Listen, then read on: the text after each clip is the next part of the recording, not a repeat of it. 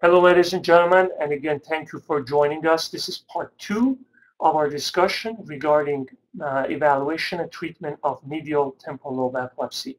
The first session reviewed overall evaluation regarding temporal lobe epilepsy.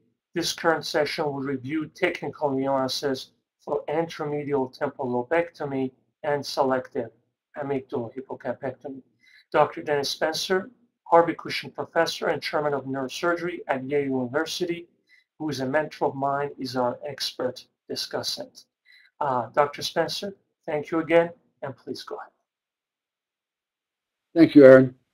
Um, thanks for the opportunity to uh, to go over this um, in a technical way. So let's uh, start by discussing the um, resection as as one knows, uh, this evolution of more medial resections began in the late uh, 70s uh, through through the 80s, and in general, uh, the resection as as uh, I perform in any way is revolves around a three to three and a half centimeter um, neocortical resection of the pole, involving just the middle and the inferior temporal gyrus as access to the temporal horn and as access to the resection of the important structures that provide the, the triad of epileptogenesis in the medial temporal lobe, that is the entorhinal cortex, the amygdala, uh, and the hippocampus.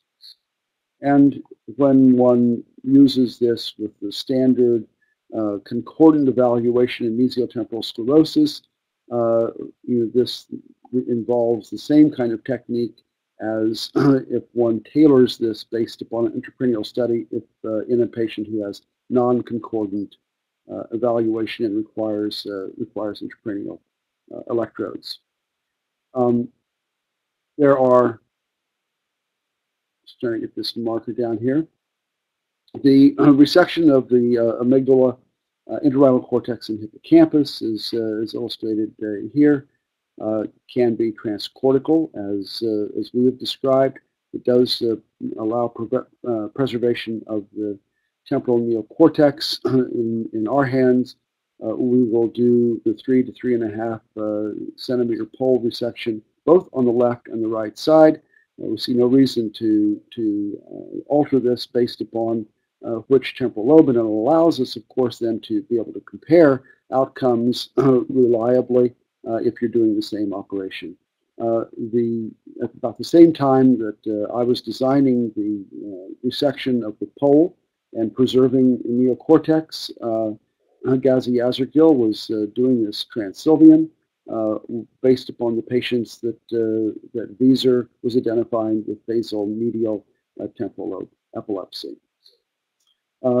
just very briefly, this involves, as illustrated here, uh, the pole resection of the middle and inferior temporal gyrus with sparing of the superior temporal gyrus in all uh, uh, documented uh, language outcome uh, studies. This is an area that is, uh, that is predominantly free of language on the dominant side, whereas in the superior temporal gyrus, language can't be distributed throughout that region.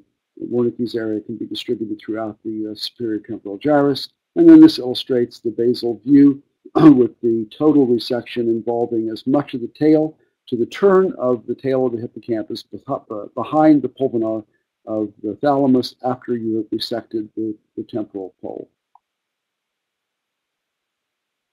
Uh, this is just a cadaver um, illustration of the um, of the pole resection. Try to change my paper under the mouse. Um, and this is, so here's sparing of the superior temporal gyrus.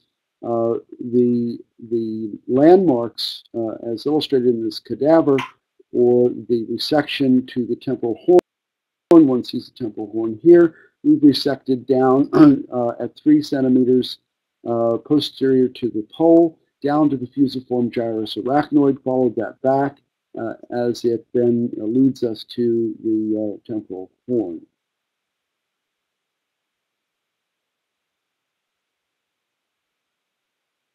One opens the one opens the temporal horn. And the